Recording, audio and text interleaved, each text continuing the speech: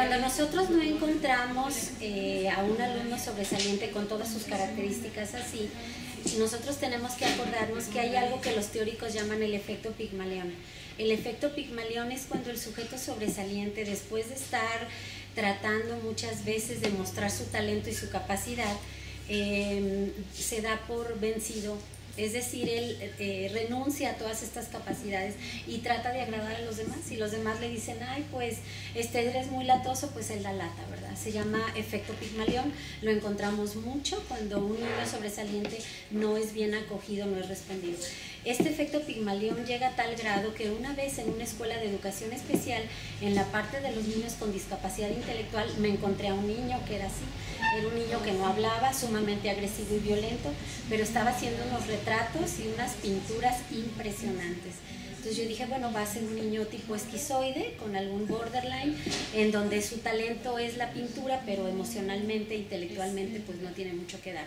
Empiezo a platicar con él y me habla de todo el expresionismo de la pintura, me habla del renacentismo, me da toda una cátedra sobre la pintura, porque yo le dije algo así como, este, le hubiera gustado mucho a Van Gogh tu dibujo, ¿por qué no calamos a ver si tú este, te cortas una oreja, algo así? Como que traté de picarlo, porque a los pigmaleones hay que picarle, ¿no? Hay que decirles, ah, si estás, no sabes hacer nada, ah, pues mejor te llevo a una escuela de retraso mental para que ahí no hagas nada, porque si no los, si no los mueves, si no les picas el ego, él va a seguir igual.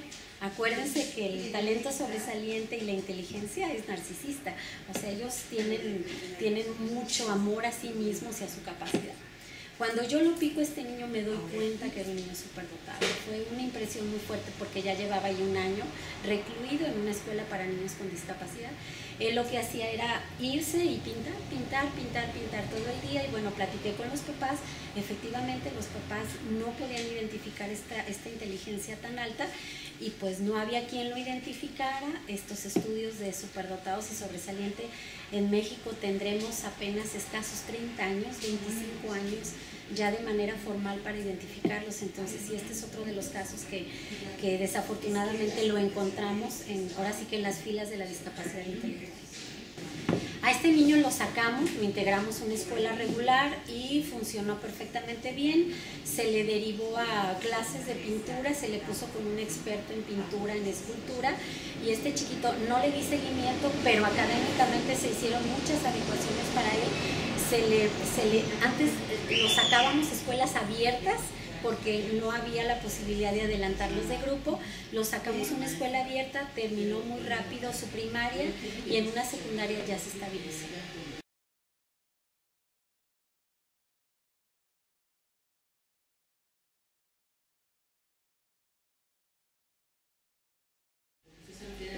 Pues yo creo que un especialista en aptitudes sobresalientes, aunque la verdad son pocos, somos pocos porque la especialidad que, había en la normal superior de especialidades la quitaron, era un diplomado, pero bueno, hay en México y en otros estados hay diplomados en estudios sobresalientes. Una buena psicóloga clínica enfocada hacia lo sobresaliente. Este, un pediatra sensible, un neurólogo sensible que pueda identificar una capacidad sobresaliente. Pero la verdad, yo confío más en los padres de familia, confío más en sensibilizar a los papás que sensibilizar a los maestros. Porque si un papá identifica, él va a luchar porque a su niño se le siga dando. Eh, en las escuelas esto representa desafortunadamente una amenaza representa el que el maestro tenga que a ver qué hace para entretenerlo, a ver qué hace para modificar su currículo y hemos encontrado buenos maestros, pero, pero no, no todos.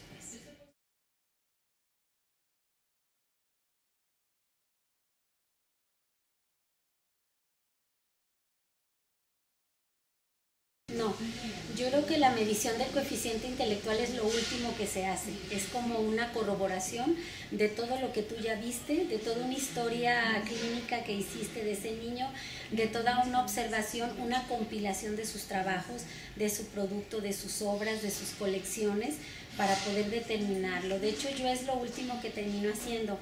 A veces es importante tenerlo porque te da cierto nivel de confiabilidad para las personas que están alrededor que no creen, ¿verdad? Sea, un niño sobresaliente la expectativa. Yo hice una investigación con los docentes de cómo esperaban un niño sobresaliente o muy inteligente o talentoso. Y bueno, la mayoría de maestros nos describió al alumno típico académico, ¿no? Al alumno bien portado, que no contesta, que hace todas sus tareas, que a todo responde que sí, que no tiene problemas de conducta, que no va más allá de lo que le dicen en su escuela. Y bueno, así son los alumnos que, e hijos que los papás esperan tener. Desafortunadamente la mayoría todavía no está empapada en este tema. Es algo que venimos gritándolo desde hace 30 años, hay que interesarnos por, las, por los talentos en México, hay que interesarnos por estos sujetos. Los papás que son superdotados sí identifican a sus hijos superdotados, pero también hay que educar a los papás de los hijos superdotados.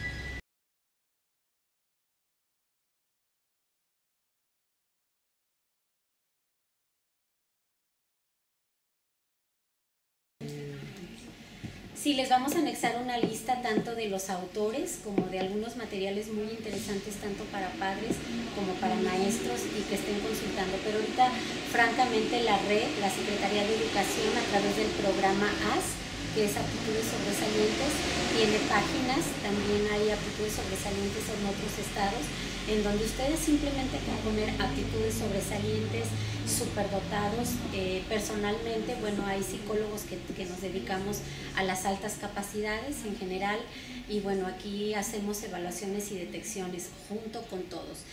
Eh, hay que hacer énfasis en que la nominación es grupal, no existe la nominación del especialista. Aquí el que determina quién es sobresaliente somos todos, porque la conducta sobresaliente se ve, se palpa, se siente una vez que el especialista empieza a decir, a ver, observa esto, esta es una característica, los papás nominan, los maestros nominan, sus compañeros nominan eh, y todos nominamos hasta llegar a la conclusión. Aplicamos, si es por ejemplo talento musical, artístico, deportivo, contratamos un especialista que nos diga, ¿verdad? Si tu, alumno trae un talento deportivo de ligas mayores, tu alumno, alumno trae un talento deportivo para desarrollar, ya mételo a una liga de fútbol, espérate tantito, está con el interés, pero ahorita todavía no tiene talento y en las cuestiones intelectuales de la inteligencia general, que estamos hablando de los superdotados, estamos hablando de un coeficiente intelectual de 130 para adelante. Es muy interesante aclarar que los niños superdotados en estos años de experiencia que tengo son dominados por su coeficiente intelectual. Aquí no importa el contexto familiar, no importa el contexto académico, no importan las relaciones afectivas el niño superdotado, uno que tenga un CI de 130, su coeficiente intelectual es el que va definiendo, va controlando. ¿Por qué les digo esto? Porque tengo muchas experiencias en donde los hogares han sido muy favorecedores y en otras donde no han sido favorecedores. Y el niño superdotado, que ya trae esta superdotación intelectual, ya trae todo. Los sobresalientes, ¿no? El sobresaliente no lo encontramos con una, un coeficiente intelectual arriba de 100 desde 110 ya son diferentes, 120 hasta 130 más o menos. Son niños que, que, tienen estas características que les digo, el interés intenso, la motivación, y que sí depende del contexto escolar para poderlo desarrollar y depende del contexto familiar para identificar esos talentos.